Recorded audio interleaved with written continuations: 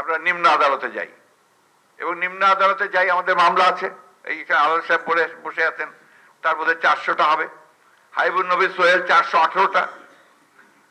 আমি ক্ষুদ্র মানুষ, আমার বৃদ্ধ আটানব্বইটা। আর দুটো বাকি আছে সেঞ্চুরি করতে। পার্লামেন্টে আপনার একটা বিল পাস যে বিলটা নিয়ে শুধু বাংলাদেশে নয়, সারা বিশ্বেই এই বিলটি নিয়ে কথা হয়েছে। সাইবার সিকিউরিটি অ্যাক্ট যেটা এর আগে আপনার ডিজিটাল সিকিউরিটি অ্যাক্ট নামে ছিল, যেটার উপরে আমাদের সমস্ত সিভিল সোসাইটির মানুষেরা, আমাদের সাংবাদিকরা, রাজনীতিবিদরা প্রতিবাদ জানিয়েছেন।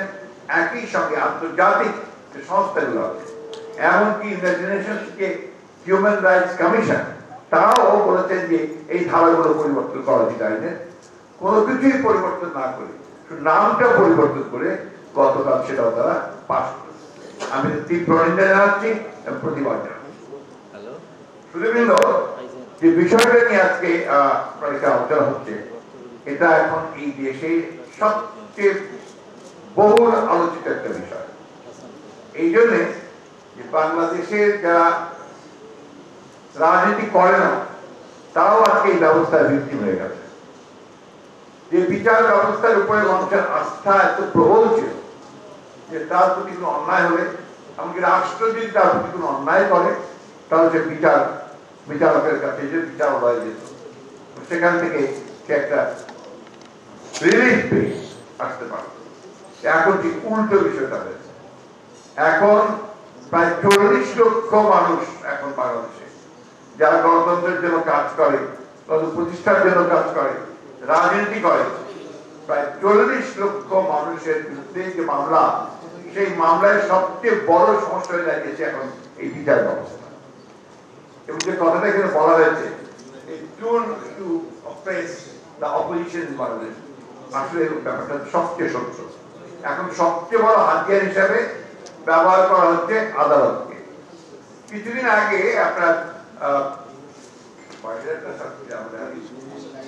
সাতক্ষীরা আমাদের সাবেক সংসদ সদস্য।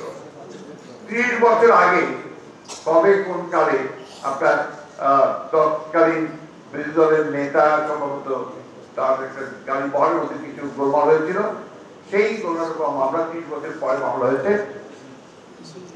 হাবিবকে ত্রিশ বছর সাজা দেওয়া হয়েছে। দুঃখিত, সত্তর বছর। সত্তর বছর। একই ধরনের একটা মামলা আপনার এখানে একই ঘটনা ঘটছিল। ওই ত্রিশ বছর আগেই হবে প্রায় তাতে নয় জনকে মৃত্যুদণ্ড হয়।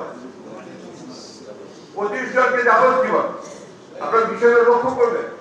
এই বিষয়গুলো কিন্তু আজকে সবচেয়ে বড় সমস্যা যাচ্ছে আমরা প্রতিদিন প্রায় সবাই আপনার নিম্ন আদালতে যাই।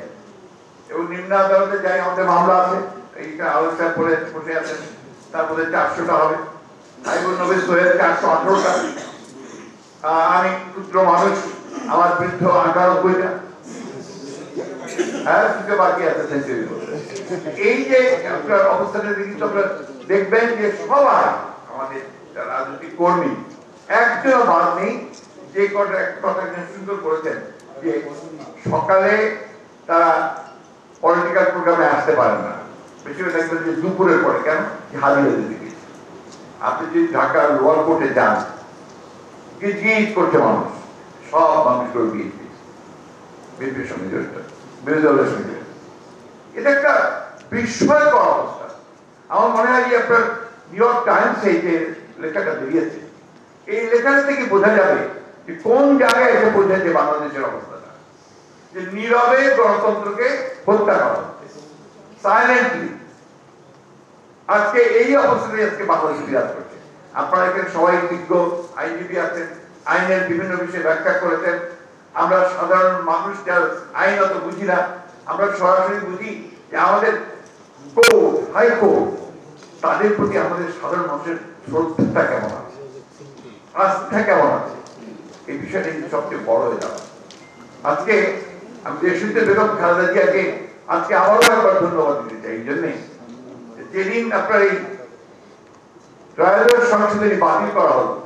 সেই দিনই বিকেল বেলা তিনি একটা প্রেস কনফারেন্স করেছিলেন গুলশান অফিসে এবং তিনি তার প্রেস কনফারেন্সে এই কথা বলেছিলেন এই ত্রয়োদশ সংশোধনী বাতিল করার মধ্য দিয়ে বাংলাদেশে স্থায়ীভাবে অস্থিতিশীলতা, অনিশ্চয়তা এবং একটা সহিংসতা রাজনীতি শুরু করা হবে